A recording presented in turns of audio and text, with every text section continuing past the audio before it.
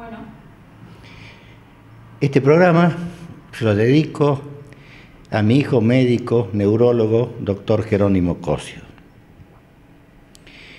Hace algunos años, el CIPROSA decidió proyectar el centro virológico de la provincia y me hicieron llamar a mí el doctor Raya.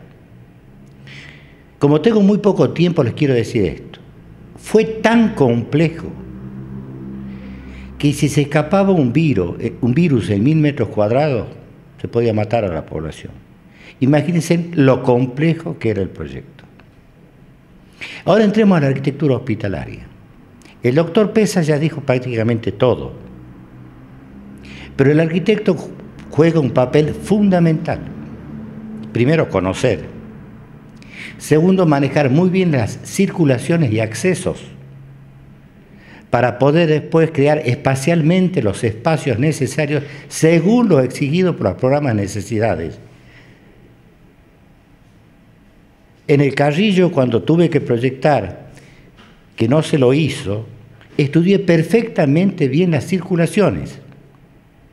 Y todos los días me hablaba con médicos, enfermeras, sociólogos, etcétera, etcétera. No podía pasar el, plano en limpio hasta que ellos me autorizaran. Por decirles algo, lo que es un quirófano es tan complejo, es tan complejo, lo séptico, lo aséptico, etcétera, etcétera, pero tan complejo que me costó mucho resolverlo.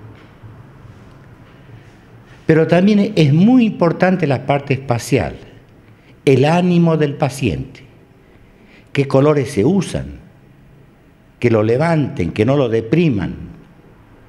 Las visuales. Yo proyecté un quirófano en un lago todo vidriado, evidentemente para que no salgan los, este, los virus, ¿no? Y los médicos me lo aceptaron. ¿Por qué? Y era para el carrillo, pero ellos tenían visuales y los tranquilizaba también porque la estrés médica es terrible. Pero el trabajo en conjunto del arquitecto, médico y toda la rama que a ellos los infiere es muy complejo. Muchísimas gracias.